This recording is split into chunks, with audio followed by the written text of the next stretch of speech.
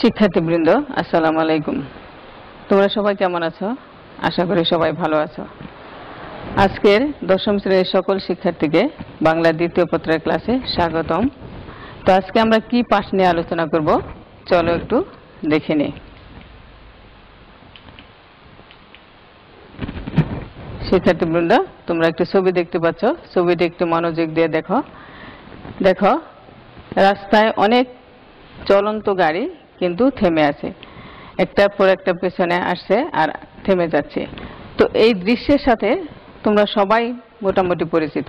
আমরা যারা শহরে থাকি অথবা শহরে আসা যাওয়া করি কোনো না কোনো কারণে, তাদের সবাইকে এই দৃশ্যটা অনেক সময় দেখতে হয়।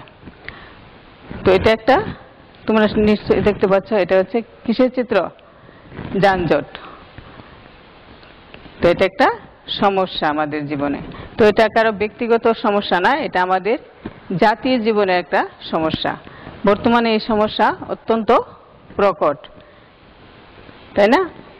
তো এই একটি যানজট একটা যন্ত্রণাদায়ক, অতি পরিচিত একটি নাম, তাই না? এখানে কত লোকজন আসা যাওয়া করছে, যেখানে থাকতে পারে অফিসে যাতায়াতকারী লোকজন, স্কুলের শিক্ষার্থী, কেউ বা হসপিটালে যাবে অর্থাৎ নানা কাজে যাবে। কিন্তু আমরা বুঝতেই পারছি যে কেউ কিন্তু নির্দিষ্ট সময়ে সময় মতো যেতে পারবে না, তার কাজগুলো সম্পন্ন করতে পারবে না। তো এটা আমাদের জন্য একটা বড় সমস্যা। আমাদের জাতীয় জীবনে এরকম আরও অনেক সমস্যা রয়েছে, তাই না? তোমরা কিন্তু অনেকগুলো বলতেও পারবে। যেমন দুর্নীতি একটা সমস্যা, খাদ্যে ভেজাল একটা সমস্যা, দ্রব্যমূল্য বৃদ্ধি এটা একটা সমস্যা, তাই না? তো এই সমস্যাগুলো সবসময় একজন সুনাগরিককে বা শিক্ষিত লোককে ভাবায়, জনজীবনের প্রভাব পড়ে। অনেকেই এটা নিয়ে অনেক লেখালেখি করে। তো তোমাদেরকে অনেক সময় এরকম সমস্যা সংক্রান্ত বিষয় নিয়ে প্রবন্ধ লিখতে হয়, আবার প্রতিবেদন লিখতে হয়, অনুচ্ছেদ লিখতে হয়। আজকে আমরা এই যানজট নিয়ে কি লিখব সেটা একটু দেখি। আমাদের আজকে পাঠ হচ্ছে প্রতিবেদন, অর্থাৎ আমরা একটি জাতীয় সমস্যা, যানজট নিয়ে প্রতিবেদন লেখার চেষ্টা করব। তো চলো আমরা মূল পাঠে চলে যাই এবং আজকের এই পাঠ থেকে শিক্ষার্থী, তোমরা কি শিখতে পারবে আমরা একটু দেখে নেই। তোমরা যানজট সমস্যা কি তা ব্যাখ্যা করতে পারবে। যানজট কেন হয় তা বলতে পারবে। যানজট সমস্যার সমাধান কীভাবে করা যেতে পারে তা বলতে পারবে। এবং যানজট সমস্যার কারণ ও প্রতিকারের বিষয়ে প্রতিবেদনও লিখতে পারবে। চলো এবার আমরা মূল পাঠে চলে যাই এবং যানজট কীভাবে হয় তার আরও কিছু চিত্র আমরা দেখে নেই। তোমরা দেখতে পাচ্ছ একটি চিত্র যানজটের, যে ডান পাশের ফুটপাত অবৈধ দখল। ওই যে আমরা দেখতে পাচ্ছি যে ফুটপাত দখল করে আছে। হ্যাঁ আর রাস্তায় অনেক গাড়ি রিক্সা এবং পায়ে হেঁটেও লোকজন চলাচল করছে। তাই না, এখানে যারা আছে, তারা, তাদের প্রত্যেকেই কোনো না কোনো কাজে বের হয়েছে, কিন্তু কেউ নির্দিষ্ট সময়ে যেতে পারবে না। তাহলে এর প্রভাব জনজীবনে কে বিপর্যস্ত করে তুলছে? অর্থাৎ ফুটপাত অবৈধভাবে দখল করার কারণে ফুটপাত দিয়ে না হেঁটে মানুষ রাস্তার মাঝখান দিয়ে হেঁটে যাচ্ছে। তো এটাও আমাদের দেশে যানজটের একটা কারণ। আরেকটি চিত্রে দেখতে পাচ্ছি যে রাস্তায় প্রচুর রিক্সা আমাদের দেশে এই রিক্সাগুলো কিন্তু চলাচলে বাধা সৃষ্টি করে। আবার রিক্সা চলাচলের জন্য নির্দিষ্ট রাস্তাও নাই। যে কোনো রাস্তায় অনেক সময় রিক্সা চলে। আবার সব রিক্সাও যে মানে বৈধ তাও না, অনেক অবৈধ রিক্সাও রয়েছে। তো সেই কারণে অনেক সময় কি যানজটের সৃষ্টি হয়। আবার রাস্তা দেখা যায় যে অনিয়ন্ত্রিতভাবেও যান চলাচল করে। এই কারণে কিন্তু যানজটের সৃষ্টি হয়।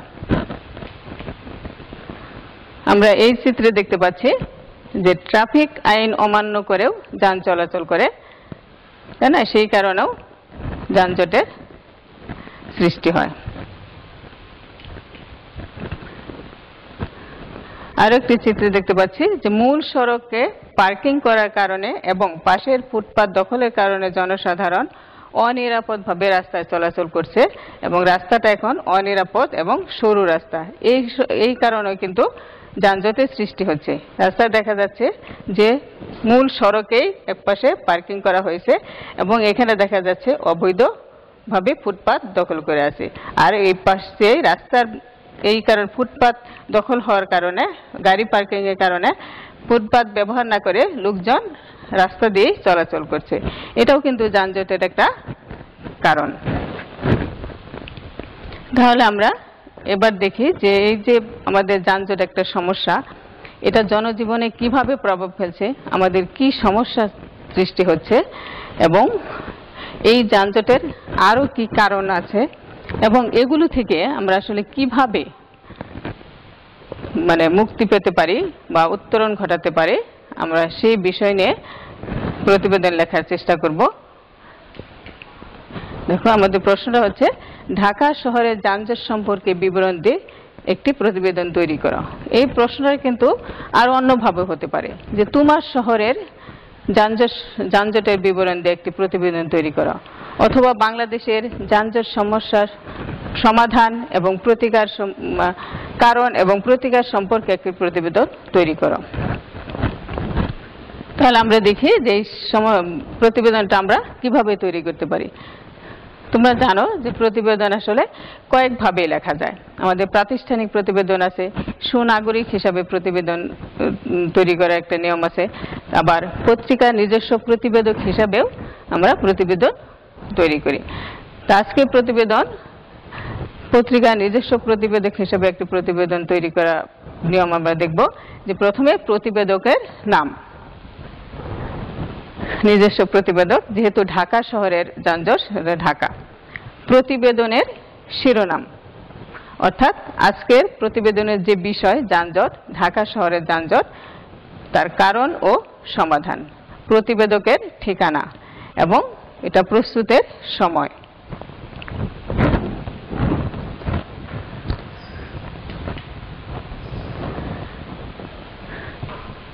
ঢাকা শহরের প্রথমে আমরা প্রতিবেদন তৈরি করার সময় শিরোনাম থাকবে। ঢাকা শহরের যানজট এর কারণ ও সমাধান। নিজস্ব প্রতিবেদক ঢাকা।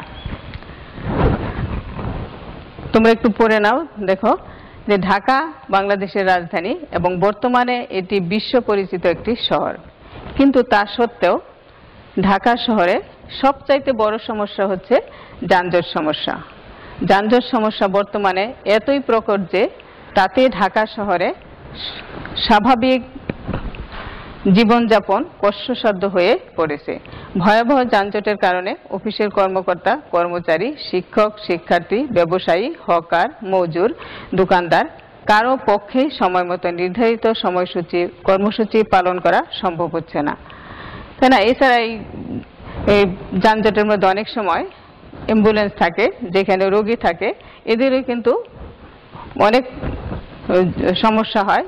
জটিলতা দেখা দেয় এবং অনেক সময় মৃত্যুও হতে পারে। আবার দেখা যায় ফায়ার সার্ভিসের গাড়িগুলো এখানে থাকতে পারে।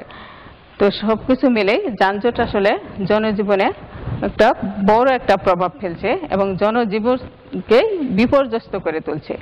তো বর্তমানে এই অস্বাভাবিক যানজটের কারণগুলো কি আমরা একটু দেখে নিই।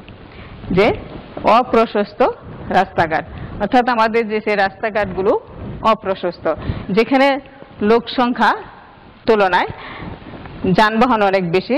রাস্তার তুলনায় যানবাহন অনেক মানে রাস্তাঘাটের প্রশস্ততা অনুযায়ী হিসেবে যানবাহন অনেক বেশি। এই কারণেও যানজটের সৃষ্টি হয়। বিভিন্ন সংস্থা কর্তৃক রাস্তা গর্ত করা। আসলে এখানে রাস্তা গর্ত করা না, দেখা যাচ্ছে যে রাস্তায় নানান ধরনের কাজ হতে থাকে। রাস্তা ভাঙা রাস্তা সংস্কার করা হয়। অনেক সময় ড্রেন সংস্কার করা হয়। আবার দেখা যায় যে গ্যাস লাইন ইলেকট্রিক লাইনগুলো ঠিক করার জন্য রাস্তা, রাস্তার পাশে ব্যবহার করা হয় এবং সেই কারণে কিন্তু যানজটের সৃষ্টি হয়। ট্রাক বা অন্যান্য ভারী যানবাহনের ছোট রাস্তার ভিতরে প্রবেশ করা। এটাও যানজটের একটা কারণ। হকার সহ অন্যান্য দোকানদারদের ফুটপাত দখল। এটা আর একটা যানজটের কারণ। রাস্তার পাশে যেখানে সেখানে নির্মাণ সামগ্রী ফেলে রাখা। এটা কিন্তু যানজটের একটা বড় কারণ। কারণ দেখা যাচ্ছে যে রাস্তার পাশে একটা সাততলা অথবা দশতলা একটা বিল্ডিং তৈরি করা হবে। তো এই বিল্ডিং নির্মাণের যে নির্মাণ সামগ্রী, সেগুলো রাখার জন্য তো হয়তো রাস্তা বা তার পাশে আরও বিল্ডিং আছে, যেখানে কিন্তু একটা খোলা জায়গা নেই যে নির্মাণ সামগ্রীগুলো রাখা হবে। তখন এই রাস্তারই কিছুটা অংশ ব্যবহার করে ব্যবহার করা হয় বা ফেলে রাখা হয়। সেটাও কিন্তু যানজটের একটা কারণ।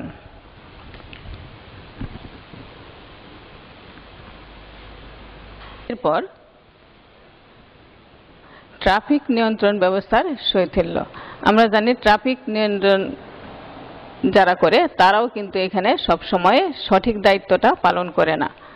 তাই না? তারা হয়তো দেখা যাচ্ছে হয়তো সামান্য কিছু ঘুষ নিয়ে তারা এটাকে ঠিকমতো দায়িত্ব পালন করছে না। এটাও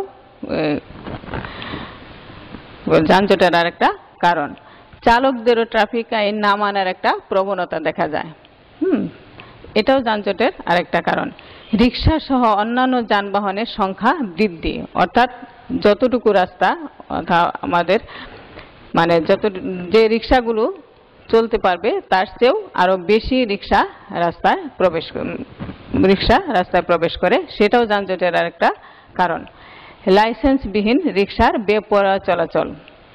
সুনির্দিষ্ট নীতিমালার অভাব। অর্থাৎ আমাদের রাস্তায় গাড়িগুলো বা ফুটপাত ব্যবহার সব কিছু মিলে যে একটা সুনির্দিষ্ট নীতিমালা থাকা দরকার, সেটাও ঠিকমতো হয়তো মানা হয় না বা অভাব রয়েছে। সেই কারণেও যানজটের যানজট সমস্যা দেখা দিচ্ছে। রাস্তা পারাবারে জনগণের ভিড় বেশি থাকা, অর্থাৎ প্রত্যেকেই চায় আগে যাবে এবং সেই জন্য তারা ফুটপাত ব্যবহার না করে অথবা ওভারব্রিজ ব্যবহার না করে রাস্তা দিয়েই চলাচলের চেষ্টা করে। পর্যাপ্ত পরিমাণে ওভারব্রিজের অভাব থাকা এটাও একটা যানজটের কারণ। এবার আমরা দেখি যে এই কারণগুলো কীভাবে দূর করা যায়? এর উপায় কি? দূরীকরণের উপায়সমূহ কি কি? যে রাস্তা প্রশস্ত করার জন্য দীর্ঘমেয়াদী পরিকল্পনা গ্রহণ করতে হবে আর তা বাস্তবায়নও করতে হবে। অর্থাৎ পরিকল্পনা করা হয় যে আমরা সবাই ভাবি কিন্তু সেভাবে কাজ করি না। রাস্তা প্রশস্ত করার জন্য যে পরিকল্পনা করতে হবে, গ্রহণ করতে হবে এবং তা বাস্তবায়নও করতে হবে। ট্রাফিক আইন পুরোপুরি প্রয়োগ করা। লাইসেন্সবিহীন রিক্সা চালাতে না দেয়া। ট্রাক চলাচলের সময় নির্ধারণ করে দেয়া। অর্থাৎ যখন লোকজন চলাচল করে, অন্য যাত্রীবাহী যানবাহনগুলো চলাচল করে, অর্থাৎ সেই সময়গুলো সেই সময়ে ট্রাক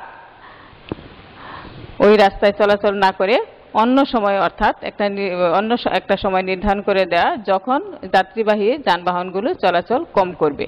অর্থাৎ যখন অফিস টাইম বা স্কুল টাইম হাসপাতালে যাওয়ার সময়, তাই না? যা অন্যান্য কাজে যাওয়ার সময়, সেই সময় ট্রাকগুলো যেন রাস্তায় না চলাচল করে। অর্থাৎ যখন এই সমস্ত অফিস টাইপ না থাকে, সেই সময়ে ট্রাক চলাচল করতে দেয়া। অবৈধ দখল থেকে ফুটপাত মুক্ত রাখা। অর্থাৎ ফুটপাতকে অবৈধ দখল থেকে মুক্ত রাখতে হবে। যেন অবৈধভাবে ফুটপাত দখল করতে না পারে, এটা করলেও যানজট অনেকটা কমে যাবে। রিক্সার মতো যানবাহন তুলে দিয়ে বিকল্প ব্যবস্থা গ্রহণ করা। বড় বড় মোড়গুলোতে ওভারব্রিজ তৈরি করা। যানজট দূরীকরণে সুনির্দিষ্ট নীতিমালা প্রণয়ন করা এবং তা বাস্তবায়ন করা। মিউনিসিপ্যাল কর্পোরেশন, ওয়াসা বিদ্যুৎ কর্তৃপক্ষ, ডিআইটি, ট্রাফিক নিয়ন্ত্রণ অধিদপ্তর সকলের কর্মকাণ্ডে কাণ্ডের সমন্বয় সাধন করা। এই সমস্ত উপায়গুলো যারা আমরা মানে ব্যবহার করি বা এগুলো করা হয়, তাহলে যানজট অনেকটা কমে যাবে।